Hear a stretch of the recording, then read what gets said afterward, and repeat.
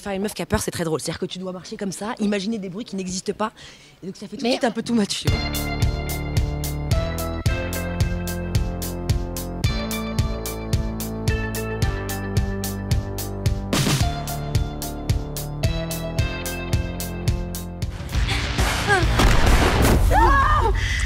En deux groupes de une personne. On voulait un groupe de meufs, on voulait surtout que ce soit des héroïnes, parce que moi j'en avais marre de voir des mecs. Et je trouve que tu vois, les personnages féminins, ils sont toujours plus, plus intéressants, plus complexes. Et 8 nanas, donc on a 8 trucs à défendre différents. Donc c'est pas comme s'il y avait que euh, un rôle type euh, de femme forte, c'est qu'on a à chacune on est présente, on a un truc à défendre.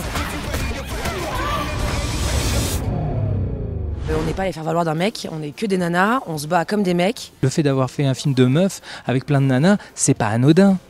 C'est aussi de dire, hé les gars, euh, si on pouvait aussi faire des trucs comme ça avec des nanas qui font exactement la même chose que des mecs, et ça peut être aussi fun.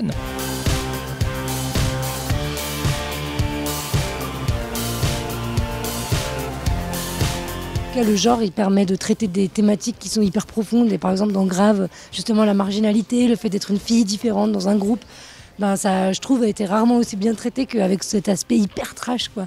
Les films de genre ont toujours été des films qui, qui, malgré tout, plaçaient des choses, revendiquaient des choses, racontaient des choses. Il y a plein de gens qui disent que c'est un film féministe, c'est un film militant. Pourquoi pas? Pourquoi pas? Moi, ça me va. Je pense qu'il ne faut pas oublier de dire que c'est une comédie. Oui, avant d'être un film de genre, c'est un truc drôle quoi. C'est une, une c'est comédie. une grosse comédie. Même. Hé, t'inquiète pas. On est dans le cinoche, quoi. On est là pour se rigoler. Te, te prends pas la tête.